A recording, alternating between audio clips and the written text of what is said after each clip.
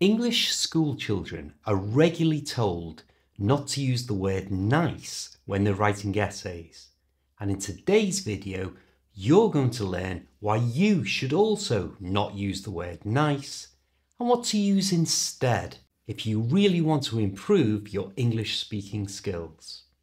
Hi, I'm Steve. Let's do this. No matter what language we use, the reason we speak and have conversations is to swap ideas. And to be fluent, we should choose words that pass a lot of information. Nice means something's acceptable, it's okay, it's not bad.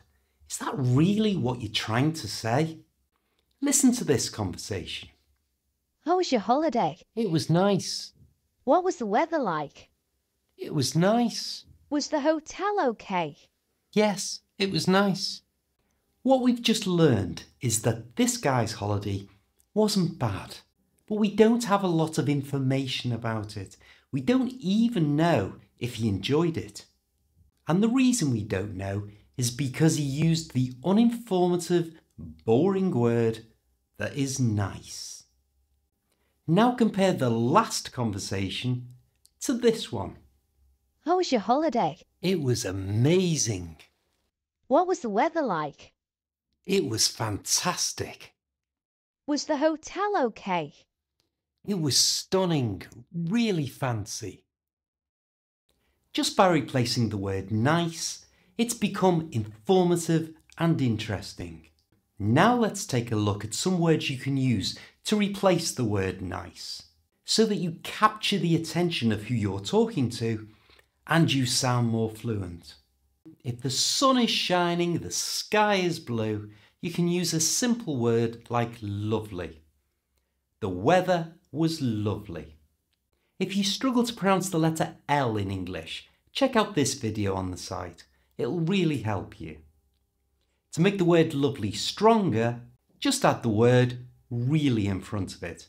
So it becomes really lovely. The weather was really lovely.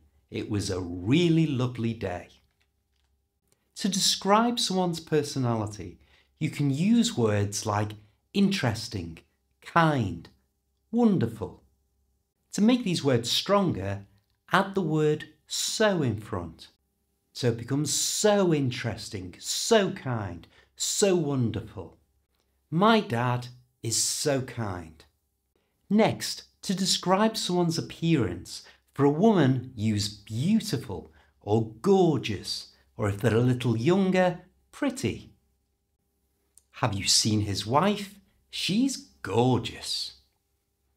For a man, use handsome or good looking. What a good looking man. Whether it's a walk or a parachute jump, there are better words to use than nice when you're describing an event or an activity, you could use pleasant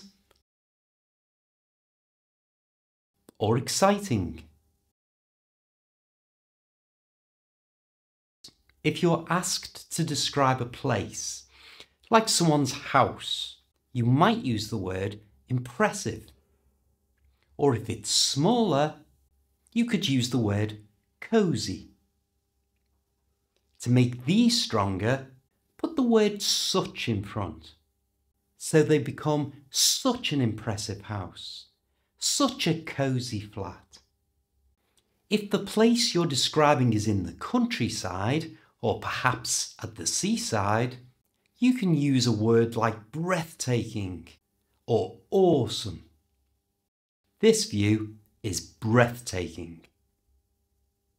When you're talking about food, Impress the person you're with by, instead of using the boring word nice, using words like tasty or delicious.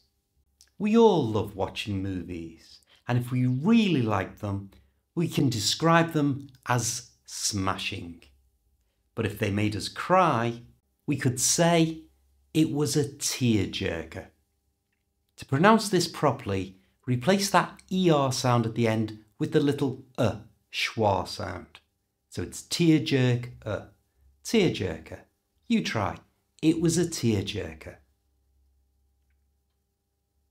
These words, fancy and stunning, can be used to describe expensive or unusual items. This is a fancy boat. And this Fabergé egg is stunning. Now it's your turn. Replace all the boring nices in this paragraph to bring this to life.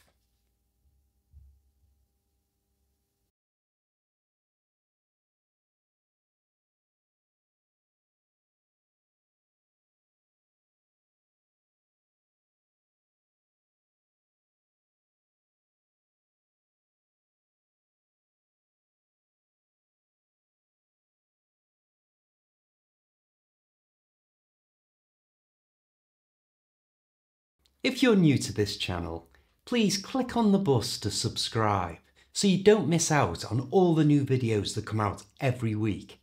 And then click on this link for another great video that's guaranteed to improve your English. I'll see you next time.